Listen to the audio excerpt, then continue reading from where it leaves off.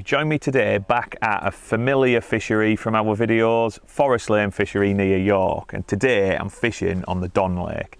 See the lake behind me, it's really unique, it's got every peg's got its own features and every peg's a little bit different and it lends itself perfectly to a method feeder approach. It's full of carp from £2 well in excess of £20 and using a method feeder you can target these fish really easily in different ways. So today I'm going to run through all of my method feeder approach, what bait I choose, why I choose that bait, where in my peg I'm going to fish, how I'm going to feed, how I'm going to load the feeder and what I'm going to fish on the hook. Hopefully I can pass on a few hints and tricks that are going to help you along your way to catch more fish. As you can see by the state of me, I've already had a few casts, I've already caught some fish and it's sure to be a great day. So I can't wait to get fishing again. I'll go and get fishing, get started and I'll run you through exactly what I'm doing with my approach.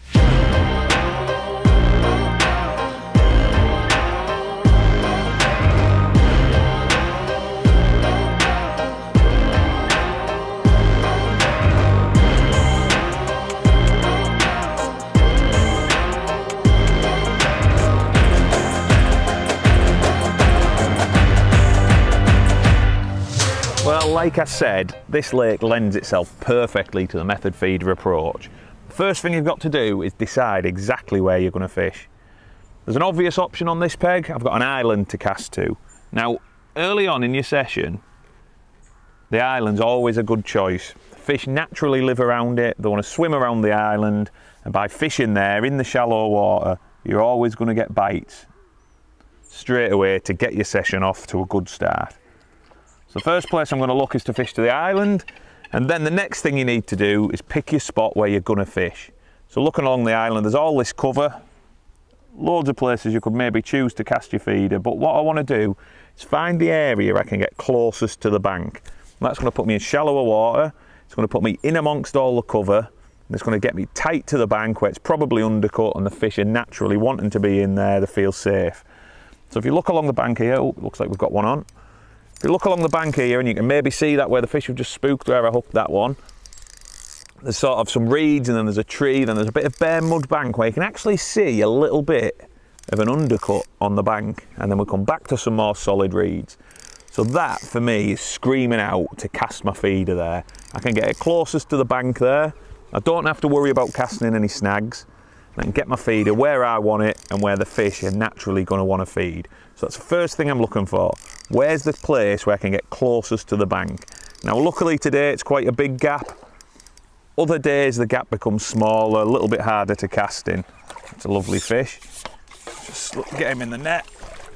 It's a small carp, but it's probably a perfect example of the fish that tend to live around the islands. You can see that's maybe three pound and the fish you tend to catch next to the islands a little bit smaller than them that you might catch in the open water, maybe on a short pole, maybe down the edge.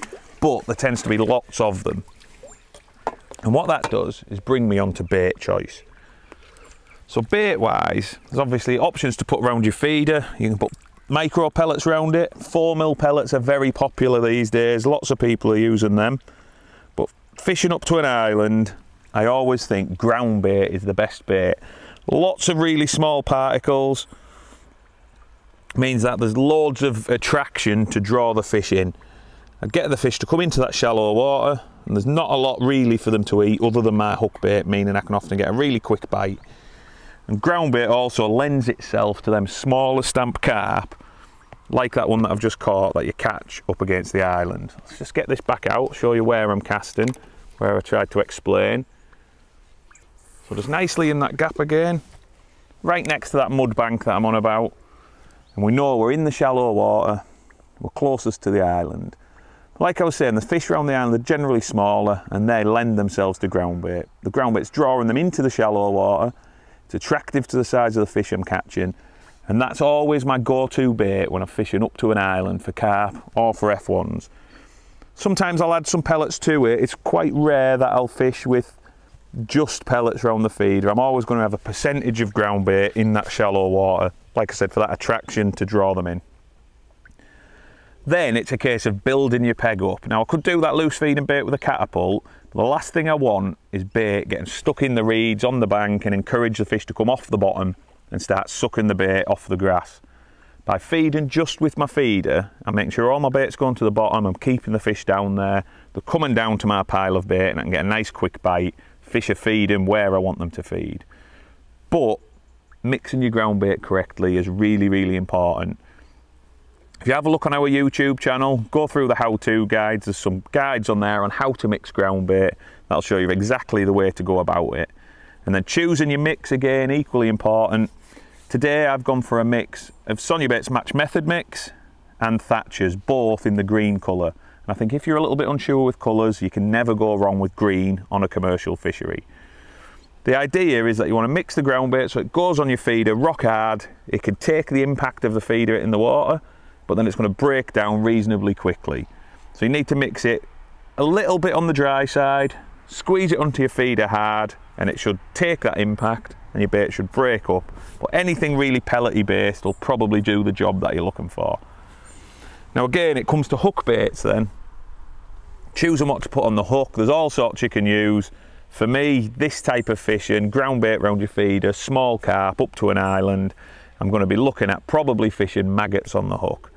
Really easy bait for the fish to suck in. Fish that live around islands, I'd have expected to have a bite by now, so I'm just going to have a recast. But fish that live around islands tend to be used to be feeding on a hard bottom, gravelly type of bottom. And you tend to find they have much smaller, much harder mouths. And for that reason, maggots work really well up to an island. It means that the fish can suck them in really easy, even with that smaller mouth that you'll find a lot of them have. Suck it in nice and easy, it's nice and light, doesn't mask the hook too much, and helps you land loads more fish. So, when it comes to casting, it's all about regularity with this type of fishing. Keep it going in in the same spot, keep the feeder going in, keep building your peg. And of course, when you're doing that, you don't want too big a feeder. So size wise, I've gone for the smallest in the FXT feeders. That small feeder still holds enough bait to catch me a fish, but I'm not going to overdo it when I'm casting regularly and trying to build my peg up. I can be casting maybe every 90 seconds, two minutes. You find a lot of your bites come really quickly after the feeder goes in. Almost like the fish home straight in on the feeder come straight to it and pick your hook bait up. Obviously ground bait breaks down quick, fish can pick that hook bait up and you get a nice quick bite. So that small feed is perfect for building the peg up. Bigger feeder can introduce a little bit too much bait, you find that you can't cast quite as regular, you'd go through loads and loads of bait, probably put a little bit too much in your peg and not get the effect that you're looking for when you're trying to build the peg up. That small feeder I combine with a 4 inch hook length, 019 FXT rig line, nice and strong, nice and durable. There's a few snags about, nothing the fish can actually get me in, but they can run through grass, they can run through reeds and can possibly cut your hook length off, so you want something that's not going to let you down. And to finish my rig off, a size 14, 404 eyed hook. Two or three maggots on the hook, and then when I come to fishing other baits, I've obviously got the option to band them and hair rig them. But my go-to bait for most of my fishing is going to be them two or three maggots hooked straight on. Now while this line's really good, there's other areas of your peg that you can exploit with a method feeder by fishing it in a different way. And that area for me is going to be in the open water of my peg, which is something I'll run through with, you in just a little while.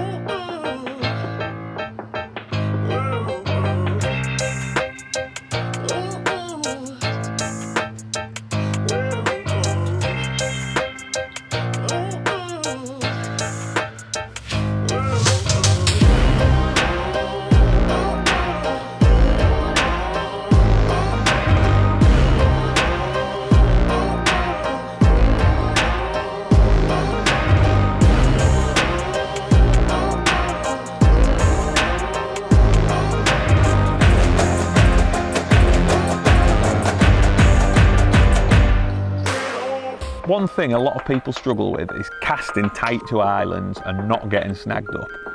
How do you go about doing it? Well, you've obviously got to clip up to make sure your feeder doesn't travel too far. And how you go about clipping up is exactly what I'm going to run through now and show you exactly how to do it. So first up, I've taken my hook length off my feeder. Really, really important. The last thing you want to do is cast on the island, have your hook length on, get snagged up and be having to reset up. If you take your hook length off, it just lessens the chance of you catching up if you do hook anything. So first thing I need to do, make my first cast. I'm gonna have to stop the line with my finger, let my feeder go in the water, and hopefully I'm gonna land it about two meters short. So make that first cast, rod up, stop it. Was a little bit closer than two meters to be honest there a little bit closer than I'd probably aim for, but I think I'm about a metre off at the minute. So I've got my line trapped still, I've never let go of it from when I stopped my feeder. I'm just going to pull a little bit off, probably no more than 18 inches. And just put that back behind my clip. So I'm going to wind in. Now when I stop my feeder, I don't need to use my finger. The clip's going to do the job for me. So I'm just going to pull the rod back as the feeder hits the clip and stop the feeder and hopefully I'll be a little bit closer to the bank. There, you can see a little bit closer than I was last time. This time maybe 18 inches off. Take a little bit more line again from behind the clip. That's probably the distance I was off the island. And hopefully this one should put me tight to the bank. So one more cast now Exactly the same process, make my cast, stop the feeder, you can see that's still really not quite as tight as I want it. That's probably this far away. I want to be a little bit tighter than that. I could adjust that now, but what you'll find is when you put some bait on your feeder, it's a little bit heavier, it'll just travel a little bit further. So I've got some ground bait here. I'm just going to demonstrate that now. I'll put my bait on, cast out again to show you, and that's the reason initially I would never ever clip up as tight as I want to fish. You can adjust that in your first few casts once you've got some bait on the feeder and see where you end up. So I'll put my bait on, make another cast, and you can see that was right in the bank, really, really tight. Now last cast I was this far off, once I've added the extra weight of my bait on the feeder, I'm really tight. You can actually see a fish moving now right on top of where I've just cast. So by leaving it a little bit short on your last cast when you've clipped up, you're allowing for the weight of your, your bait on your feeder, goes really tight to the island. If it's still not quite right, then you can adjust that last little bit as you're fishing, but it means you're gonna end up not hooking the island and getting yourself nice and close every single time. So we've had a brilliant day catching carp across to the island, but what I wanna, oh, that one's come off. What I wanna do now is just run through that open water line. So since the start of the day, I've been loose feeding pellets at sort of 14, 16 metres in the open water with the aim to chuck a method feeder on it later on. like I spoke about earlier, the fish up to the islands are generally a lot smaller. And what I'm expecting to happen on this line is the fish to be a much bigger stamp, might not get quite as many bites, but it's a brilliant way to end your session. So this time I've got pellets around my feeder, I've got pellets on the hook, and I'm just going to underarm it in where I've been loose feeding those pellets. Just get them pellets on nice and firm so I know they're not going to come off. And then pick that area where I've been loose feeding my pellets and just plop my feeder over it. Now while the other line's all about building your peg up, constantly casting, getting lots of bait in your peg and drawing the fish in, this line's a little bit more about patience. So I'm going to get my bait in, get everything set and I'm going to look to start loose feeding again. One thing I always like to do is just give it a minute or so after I've cast in, let my feeder break down before I loose feed my pellets because one thing you do find on this line when it's really good, a lot of your bites come as soon as your bait hits the water. The last thing I want to do is cast my feeder in, fire bait straight over the top of it before my feeder's had a chance to break down and I can get a bite. So now I've cast it in, my bait's broke down, and I can pick some pellets up and loose feed them over that area. So I'm just going to feed a couple of times, try and keep them in a nice tight area where your feeder's gone. And then I'm just going to leave it for maybe two, three, four minutes and then I'll look to feed again. And you'll find as the peg gets stronger and there's more and more fish there, quite often you'll cast your feeder in, give it that 30 seconds to a minute to break down, fire your pellets in two or three times, and the rod will go off the rest. And you'll see there'll be totally different fish.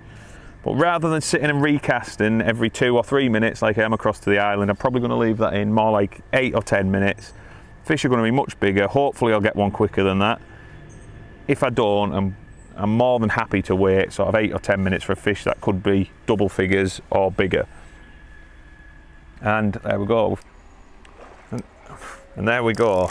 That didn't take too long at all. And I'm willing to bet it's probably going to be a bigger fish. Obviously, they're not every time, but a big percentage of them will be. And that's why I'm happy to leave it in that little bit longer. And now it's just a case of sitting on it, keep feeding that bait, and just figure out how much to feed. And at the minute, I'm thinking there's a lot of fish moving about. It's not a really big one, but it's definitely bigger than them against the island. At the minute, there's a lot of fish moving about on the surface, and all that makes me think is it might be time to feed a little bit more aggressively, try and force the fish to go down to the bottom where my feeder is, and I can catch them nice and easily. But you see, it's a much bigger fish, six or seven pound compared to the sort of two to four pounders against the island. And you can draw loads and loads of fish in your peg like this, but because you're fishing a feeder over the top of it, you really don't need to worry about foul them and losing fish. So it's a really efficient way of catching lots of fish in a short amount of time and a much bigger stamp of fish. So now I'm just going to repeat that process again. Put a pellet in my band. Fill my feeder and then just underarm it back out on that line. And then one other thing I just want to quickly touch on is how you load your method feeder. And that's something that I think makes a massive difference and you need to load it in different ways dependent on what you're trying to achieve. So let's chuck that back out. Get the line sunk.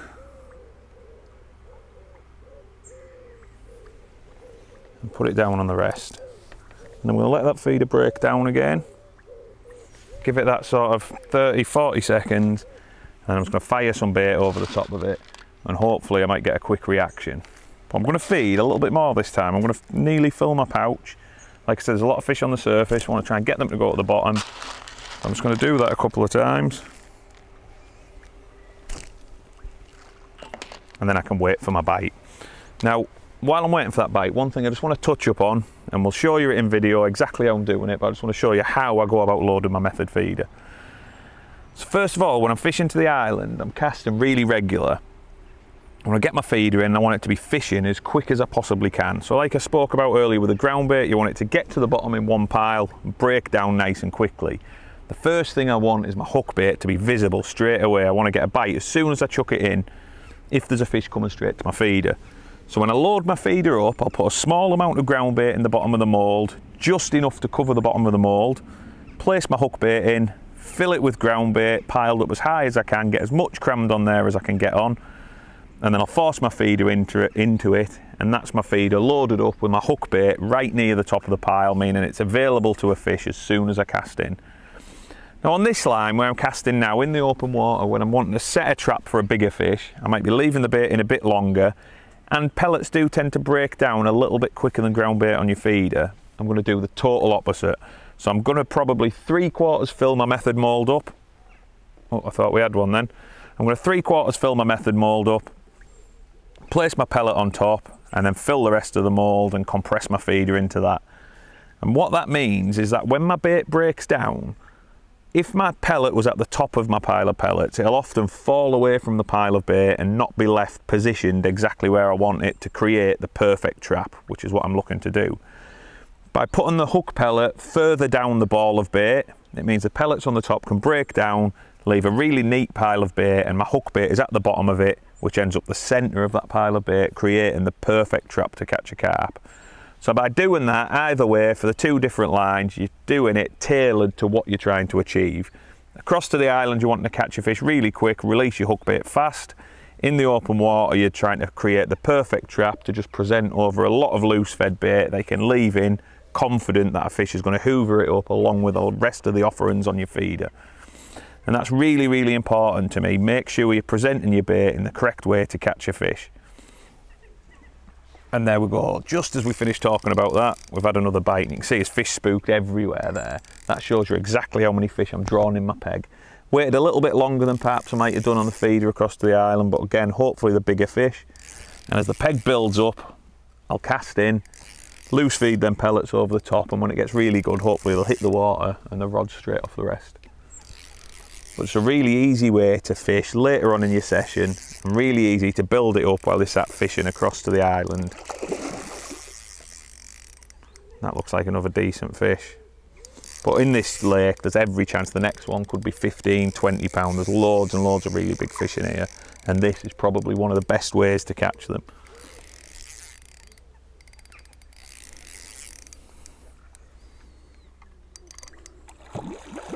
Yeah, that's a nice fish. Probably another one, maybe eight pound that one, seven to eight pound. And that's probably worth two or three of the fish from against the island. So I waited a little bit longer, but probably not as long as it took me to catch maybe three fish over to the island.